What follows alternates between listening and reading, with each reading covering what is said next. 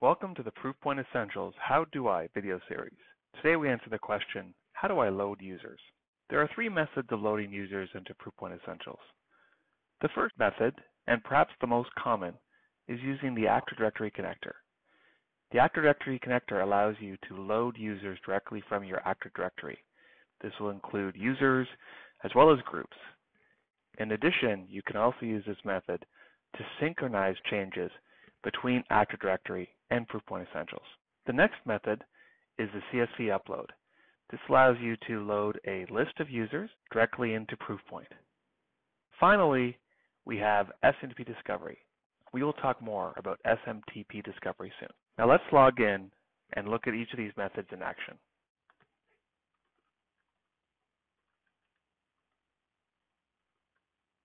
When I log in, I will see the Company Settings tab, which you see here.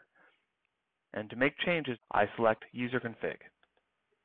Now once I click on User Config, you'll see I have two options, Active Directory and SMTP Discovery. The CSV upload feature is only available to partners, so we'll demonstrate that in a moment.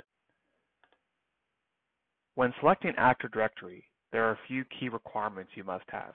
Number one, you'll need to have the Active Directory URL that Proofpoint Essentials should use for a connection. In addition, the environment will have to accept connections from Proofpoint Essentials. Therefore, you'll have to have certain LDAP ports enabled on your firewall to allow Proofpoint Essentials IPs to connect. Please check with your channel account manager or your partner contact for this information. In addition to the URL, you'll also require an account. This account will require read access to Active Directory. And the most critical portion here is the base DN. This is the LDAP query Proofpoint Essentials will execute in order to identify the users we're going to load. If you do not know what this should be, please contact your network administrator. Below the Active Directory connection settings, you'll see options of what you would like to sync. By default, Proofpoint Essentials has checked the common items that our customers use. Feel free to control which of these items you wish to load. And finally, you can choose whether you want to add these items to Proofpoint Essentials. You can also choose to sync accounts that have already been loaded with any updated information. You can choose to remove accounts that have been deleted from Active Directory, and you'll notice there's an option to sync every 24 hours. Therefore, when you make changes in Active Directory, those changes are reflected in Proofpoint Essentials. This is why the Active Directory connector is the most common approach used to load users in Proofpoint Essentials.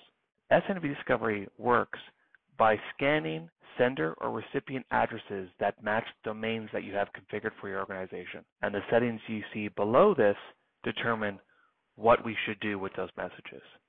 If it's enabled and we identify an address we've not seen before, we will still deliver that message either to the internal recipient if it's inbound or to the external recipient if it's outbound.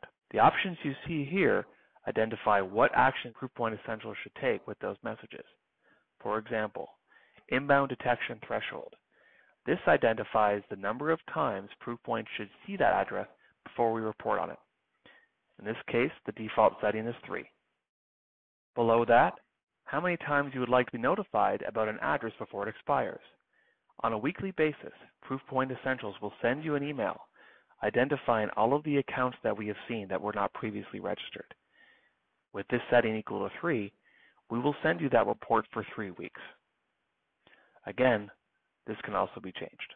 Just below that setting, we have some additional options. Expired addresses default to new user. Now, after identifying the SMTP address three times and notifying you for three weeks, that address will become expired. Now, if this setting is enabled, then the expired address will become a new user. If you uncheck this option, the expired address will become invalid, and therefore any further emails to that address will be rejected.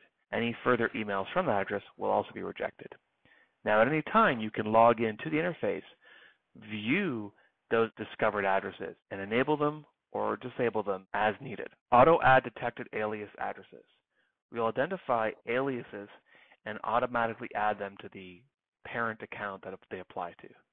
For example, if you've loaded the user chris at moco.ca and we've identified that there's an alias chris m at moco.ca, will automatically add that alias to the chris at moco.ca account. Auto add new users detected via outbound. If you are using Proofpoint Essentials to filter outbound mail, and we identify an email from an address that matches your domain but is not a licensed user, you can use this option to automatically create a licensed user from that action. Finally, reporting on new users, reporting on new aliases. These are reports that the system will send you should you wish to see a list of any addresses that Proofpoint Essentials has enabled as new users or aliases we've automatically added to a user account. Once you've got the features you like in place, you simply hit save. Now that we've seen Active Directory and SMTP Discovery, let's take a look at the option for CSV. To do this, I will need to log out and log in with a partner account. I have now logged in with a different account. In this case, I now have partner admin privileges. And you'll see that there's a new option listed, CSV upload. Now a CSV upload will allow you to copy and paste the contents from a CSV file into the text field you see here. That file can contain the user's first name, last name, primary SMTP address, as well as any aliases you have for that account. The system allows you to identify the delimiter. It also allows you to map the columns with the fields here. For example, first name is in column 1, last name is in column 2. And you'll notice at the bottom of this screen, you have an option to keep manual SMTP discovery enabled. This is a very common approach. You use the CSV upload process to load your initial set of users, and then use the SMTP discovery for ongoing changes.